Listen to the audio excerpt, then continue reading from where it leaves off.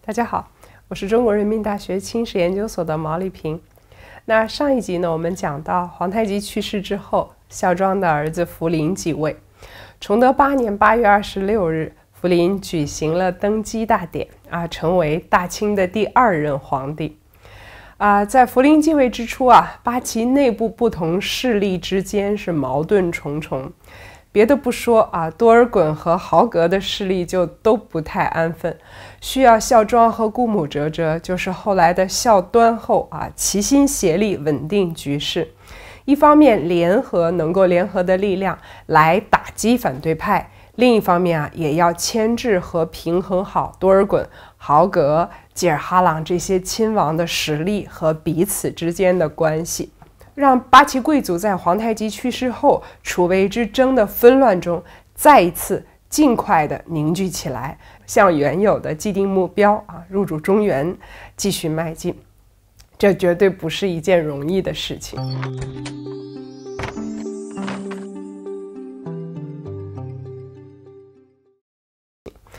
啊，我们虽然很难看到史料中啊这一段时期有关于孝庄作为的正面记载。因为当时的政令啊，不需要像慈禧、慈安时代那样哈，是要盖上太后的印章啊，或者有太后的懿旨才能执行。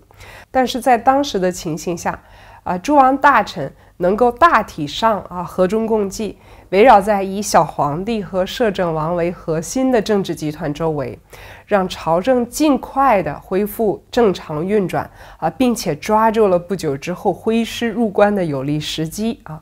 不能不说，孝端与孝庄在其中起到了很重要的稳定和协调作用。就在顺治元年三月啊，李自成率领的农民军进攻北京，崇祯皇帝急召镇守辽东的吴三桂进京擒王。清朝这边立即意识到，这是一个举兵入关的大好时机。大学士范文成啊，上书多尔衮，为他分析了当时的形势。建议抓住时机挥师中原，多尔衮当即着手清点兵马，筹备粮草，做好了这个进军的准备。四月十五日啊，多尔衮就接到吴三桂所派使者送来的求援书啊，跟清军说明他们的皇帝啊已经死了，国家已经亡了啊，请求清军与他合力啊，去攻打农民军啊，要为军父报仇。这个过程啊，我们也在以后啊给大家细讲。简而言之呢，就是清军啊在吴三桂的引领之下进入山海关啊，与农民军展开激战，击败农民军，招降吴三桂，直捣北京城。这一年啊啊，就是一六四四年哈啊，这一年既是明朝的崇祯十七年，也是李自成的大顺元年啊，还是清朝的顺治元年哈。呃，就在这一年里啊，清朝成为了北京城的第三个主人。之后啊，啊多尔衮就奏请迁都北京，入主中原啊，是从努尔哈赤一代起啊就已经开始经营的梦想。现在在顺治小皇帝这里啊，终于可以实现了啊，应该是值得大庆特庆之事。但是对于很多满洲贵族而言啊，他们不想迁都。啊，有人担心是不能适应关内的气候和环境，啊，不愿意离开东北老家；更有人担心啊，啊，进入中原之后的局势究竟如何？毕竟啊，当时南方还有南明势力啊，西边还有大顺政权和大西政权。局势稳定不住的话，那是不是还得撤回关外啊？那就还不如安于现状啊，仍旧退保山海关，不要去冒这个险啊！啊，其实啊，应该是孝庄啊与孝端和留守的摄政王济尔哈朗商议之后，决定啊采纳多尔衮的建议啊迁都北京。呃，离开盛京之前啊，小皇帝率领。诸王大臣、两宫太后率领诸位妃嫔，隆重地祭祀了皇太极的陵墓啊，算是进行了正式的告别。这一别哈，别人不说啊，对于孝庄而言，意义是非常重大的。啊，毕竟五年之后，哲哲就撒手人寰，哈，归葬昭陵，陪伴皇太极长眠于地下。而孝庄啊，则死后啊，也没有再归葬昭陵，是和皇太极永远的诀别了。呃，顺治元年十月一日啊，福临在到达北京之后啊，再一次举行了登基大典，标志着清朝啊进入了全新的发展阶段。那孝庄在迁都之初啊，在史料当中留下的记载仍旧是不多。呃，比如《东华录》有记，顺治初年啊，他对圈地持否定态度，曾下令啊，将各处圈占的民地退还给百姓。圈地啊，就是满人在入关之初强行圈占直隶一带汉人的土地，用来安置啊所谓从农入关的呃这个八旗将士。啊，他和头冲逃人法啊一起被称为多尔衮的三大恶政啊，也是满人用野蛮和残酷的方式压迫汉人的历史记录。那如果孝庄真的明确反对过圈地的话，说明啊，他与多尔衮的政治主张啊并不完全一致啊，体现出他慈悲啊和体恤的一面。这与他后来啊，每逢灾荒之年就拿出私房银两来赈济灾民的做法是前后一致的。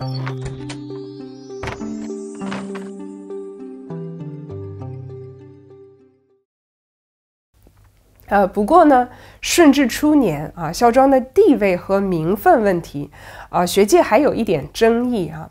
按照惯例啊，福临继位之后。应当封嫡母，这里的嫡母其实也是他的姑外祖母哈，哲哲为母后皇太后，封生母为圣母皇太后啊，也就是所谓的两宫并尊。那这样的话，就会使得孝庄的地位得到很大的提高啊。比如同治皇帝即位之后，就是这样册封慈安和慈禧两位太后的。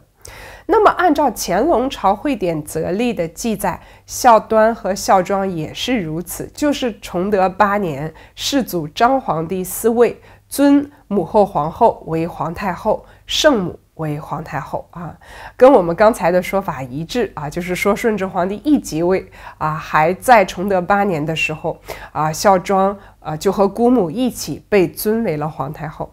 但是呢，啊，我们却发现康熙和雍正两朝的会典记载却不是如此，而是到顺治八年，也就是福临在亲政之后，才上圣母尊号曰皇太后，上徽号曰昭圣慈寿皇太后。也就是说，孝庄的这个皇太后的尊号是到顺治八年才得到的。那我们再查顺治朝的实录啊，虽然从崇德八年皇太极去世之后，就一直有关于皇太后的活动记载，比如说皇太后率领宫中妃嫔在皇太极的一系列丧仪中行礼，皇帝和诸王向皇太后问安行礼等等这样的记载，但是呢，就都只用了皇太后这三个字啊，我们很难判断。这里的皇太后是专指孝端后哲哲，还是也包括了孝庄后？那顺治六年哲哲去世之后啊，再到顺治八年，实录里才有了我们刚才提到的顺治将生母尊为昭圣皇太后的记载。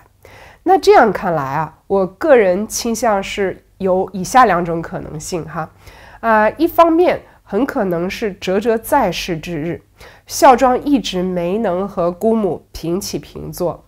虽然儿子继承了皇位，但是太后的尊号他并没有和姑母一同获得，而是又等了八年之久。另一方面，我们前面讲过，呃，多尔衮是顺治七年十二月去世的。那顺治八年正月啊，皇帝就提出将母亲尊为昭圣慈寿皇太后，这的确难免让人产生怀疑哈。此前孝庄是不是真的不在宫里？我不是让人告诉你别再来了吗？怕什么？谁敢乱讲，抓住了我割他舌头！人家当然不会当着你的面说了。混账！早知中国要网担这个虚名，又何必突然苦了我们自己？当初我早就跟你，你还说啊，无论如何，从顺治八年开始，实录当中关于孝庄的记载，或者说啊，是顺治母子之间的互动啊，就多了起来。顺治皇帝啊，用隆重的仪式给母亲上了尊号啊，在给太后的册文以及上尊号礼成之后颁布天下的诏书中啊，都赞美了母亲善良谦和的天性，充分肯定了她自太宗朝以来对协和宫廷关系啊起到的重要作用，以及抚育、庇护和辅佐自己的各种勋劳啊。可以说啊，将孝庄的地位提升到了一个全新的高度。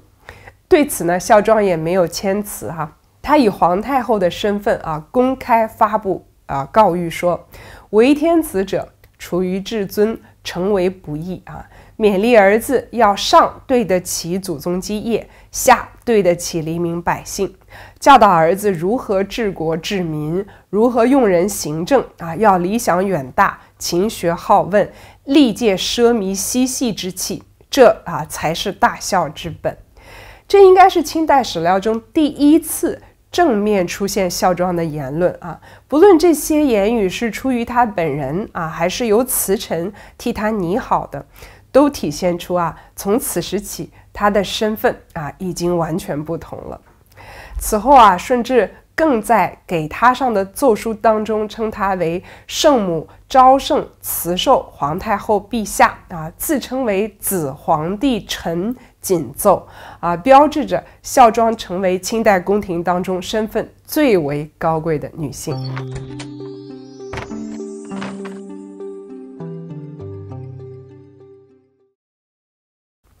啊，虽然顺治皇帝对母亲百般尊崇啊。但这并不意味着他们母子之间就没有任何矛盾哈。我们前面讲过康熙的家庭关系啊，说过在权力之下，亲情难免会变形和扭曲。那这种扭曲也体现在孝庄母子身上。顺治皇帝公开表示对母亲的为傲啊，是在他的婚姻大事上。我们前面比较充分的给大家铺垫了清朝后宫与孝庄娘家啊科尔沁蒙古博尔济吉特家族的关系，那孝庄身上自然肩负着啊让博尔济吉特家族继续统帅清朝后宫的使命。殷亲王已经前往蒙古行聘，任何事儿我都是最后一个知道的，为什么一句话也不来先问我？大婚的是你。可也是大清朝与蒙古四十九旗。我不要！难道我连一点点自由都没有？我只不过是搁在太和殿宝座上的摆饰，我只不过是用来巩固满蒙邦交的工具。你们能不能给我点尊严？这个皇帝我不当了。在顺治八年八月啊，顺治皇帝举行了大婚典礼，新娘啊是孝庄的亲侄女啊，就是我们之前提到过的他的大哥吴克善的女儿。《清史稿后妃传》记载啊，哎，这位皇后丽而慧啊，就是又美丽又聪慧啊，应该是孝庄在娘家的女孩子当中啊，为儿子精心挑选的妻子。虽然后来顺治皇帝要废后时啊，理由之一就是这位皇后是当初多尔衮为他选定的啊，不是钦定的啊，所以要把她废掉。但是啊。多尔衮敢于替皇帝决定皇后的人选，而且选定的是太后的亲侄女，那一定啊是在孝庄的授意之下所进行的安排。啊，对于这门婚事啊，年轻的顺治皇帝啊有种本能的反抗。他从小在摄政王多尔衮的控制之下生活，一切政务都不能自己决断哈。现在连婚姻啊和感情问题都要被他人操控。十四五岁的青春期叛逆啊，终于找到了一个爆发点。顺治八年正月啊，吴克善把女儿送到京城来与皇帝完婚啊。当时王大臣们奏请啊，下个月就举行大婚典礼啊。但是顺治皇帝却下诏推脱说啊，大婚吉礼啊，怎么能这样仓促举行呢？不准行啊！那等到这一年八月啊，各种大婚礼仪都已经准备妥当了，顺治皇帝才不得不举行了婚礼。啊，在册封这位博尔济吉特为皇后时啊，顺治皇帝在册文中说：“兹养成皇太后懿命啊，册尔为皇后。”啊，虽然这是册文当中常用的套话，但是用在顺治这里啊啊是事实啊，的确如此。大婚礼成之后啊，顺治皇帝还下令礼部啊，再给母亲加上尊号，由原来的昭圣慈寿皇太后，再加上两个字，变为昭圣慈寿恭俭皇太后啊啊！这个婚礼啊啊，既然举行的不情愿啊，婚后两人的感情啊，自然也不会好啊。仅仅过了两年多啊，顺治皇帝就提出了要废后。这个我们在前边的视频当中讲过哈，啊，虽然关于废后仪式的前后正史当中并没有关于孝庄有所言行的记载，啊，但是我们啊看到群臣和皇帝那样据理力争啊，不同意废后，这说明啊孝庄在背后其实已经进行过努力了。无奈顺治皇帝心意已决啊，而且在顺治所提出的这个废后理由当中。帝后啊分居三年的事实啊，其实成婚一共还不到三年啊，甚至就是想表示他们是一直在分居啊。这个事实可能也打动了太后啊，不忍让儿子和侄女都一直啊这样孤单下去，所以啊，最终还是妥协了啊。这一点啊，从群臣一直和皇帝奋力进行抗辩，到吉尔哈朗忽然代表群臣表示啊。废后之事，所奉圣旨圣明，臣等亦以为是，无庸更议啊！这样的一个转折当中啊，我们就可以看得很明白。啊，我们之前讲过啊，在孝庄的妥协之下啊，这位原配皇后被顺治皇帝降为了静妃啊，从中宫改居侧宫了。不过呢，我们也讲了。有学者指出啊，她并没有从此终老深宫啊，而是被接回了科尔沁娘家啊，很可能还再嫁了。这再一次说明啊，娘家的这个实力强大，也说明啊，孝庄还是为侄女后半辈子的幸福啊，做了很多的这个幕后的努力。抗争胜利的顺治皇帝并没有开心多长时间，到第二年四月。另一位博尔济吉特家族的女性啊，就是孝庄太后的侄孙女，就被送到了京城。她先是被册立为妃啊，一个月之后就册为皇后，让年轻的顺治皇帝啊再次意识到自己的无力啊和母亲的强势，他不得不再次被迫接受了这门婚事啊。但是啊，对于新皇后的冷落啊，自不待言。顺治十三年啊，董鄂妃入宫啊。关于顺治皇帝和董鄂妃的热烈的爱情故事，我们之前讲过哈啊。因为这一集的内容和我们之前的废后一集关联比较多啊，所以请小编可以把这一集的链接放在评论区，大家可以啊前后对照学习。顺治皇帝的钟情于董鄂妃啊，啊，一方面是和两个人的情投意合啊有关系，另一方面啊，也是他在反抗母亲的强势和压迫时啊所抓住的一根救命稻草哈。那我们在磕这一对爱侣的 CP 的时候啊，这是我最近和网友们新学到的一个词儿哈，呃，可能很少关注到新皇后的这个凄凉景象。顺治十五年啊，孝庄生病。甚至就直接以太后生病期间皇后礼节多有疏漏为借口，再次提出废后，并且直接下令停止中宫建表啊这一象征皇后身份的权利。大家看啊，顺治所找的这个废后的理由啊，其实就是明确了他要和母亲开战啊，这不是你选定的儿媳吗？我就以对你的不孝来作为废后的理由啊，看你怎么处理。那这一次啊，孝庄没有再忍，他迫使顺治皇帝下令恢复了中宫建表，保住了皇后的地位。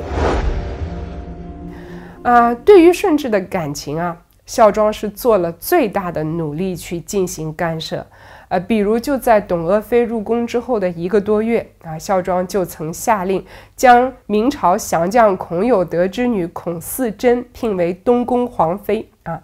我们前面讲过，皇太极时代海兰珠啊就是东宫皇妃，地位仅次于皇后啊，可见当时啊孝庄这一做法的用意所在。但是呢，这个命令后来就没有了下文啊，孔思珍也并没有真的嫁给顺治皇帝，而是没过多久，董鄂氏就入宫封为贤妃。一般认为啊，孔思珍和孝庄的关系很近啊，她被封为郡主，可能在宫廷之中也和顺治皇帝产生了情愫，因此才有了孝庄的这道懿旨。但是从当时的情况来看，我个人更倾向于是孝庄太后企图用孔思贞的力量来分散顺治皇帝对董鄂氏的感情。但是啊，这一招显然没有奏效，呃，所以东宫皇妃的封号啊也就不了了之了。不过，孝庄对儿子感情的干涉绝不会就此罢手。当第二年董鄂妃生下儿子啊，我们前面讲过，这虽然是顺治的第四个儿子啊，但是他却坚持称其为大清第一子啊，为这个儿子颁诏天下，派人祭告天地太庙。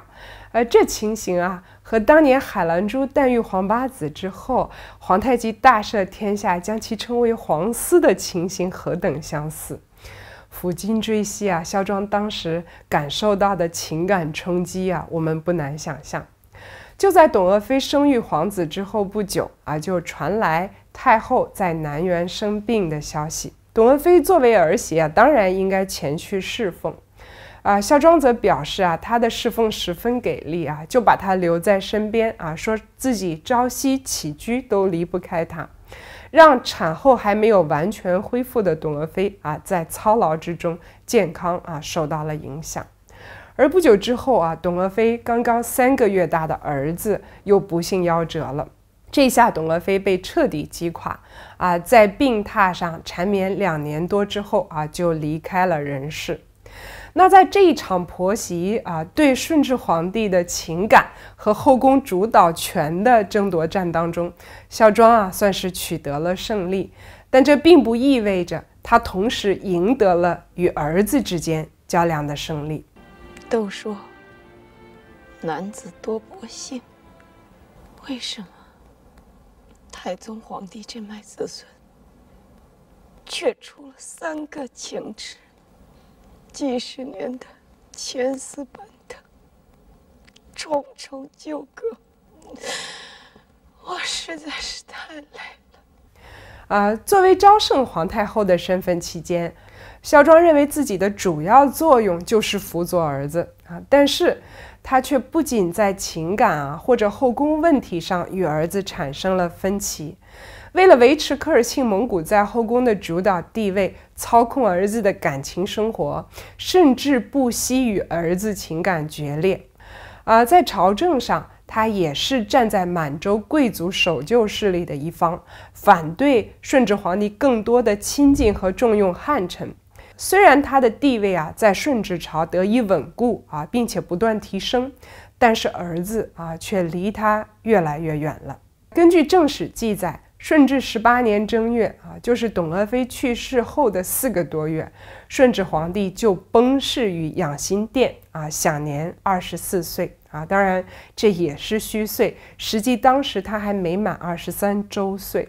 这里啊，又牵出了清初四大谜案当中的最后一个哈，就是顺治出家之谜。就是顺治皇帝究竟是心灰意冷而出家了，还是啊像正史所说是死于天花病毒啊？啊，这里呢我们就暂以正史为准啊，说顺治皇帝是得了天花而英年早逝。据说啊，在顺治的丧礼上啊，文武大臣都身着丧服，只有孝庄太后一人身着黑衣啊，在身着缟素的宫女扶持之下啊，哭得撕心裂肺。从情感上讲啊，在这一场母子的较量当中，没有啊胜出的一方。好，这一集呢，我们就给大家讲到这里。下一集啊，孝庄将迎来太皇太后啊这一个全新的身份，那她的地位和行为啊，又将会有怎样的改变呢？我们将在下集给大家继续讲解。老师，到目前为止，你还记得给自己挖了多少个坑？什么叫挖坑呢？就是说啊，这个我们之后会给大家细讲。哦，我不记得了，但是我承诺，我们说我们之后给大家细讲的，就一定给大家细讲，好吗？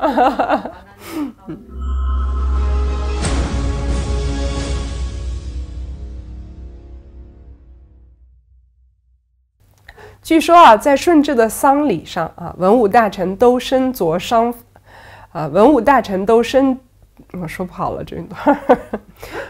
啊，据说啊，在顺治的丧礼上啊，文武大臣都身着丧，真的说不好，身着身着丧服啊啊！据说啊，在顺治的丧礼上，文武大臣都身着，真的说不好啦。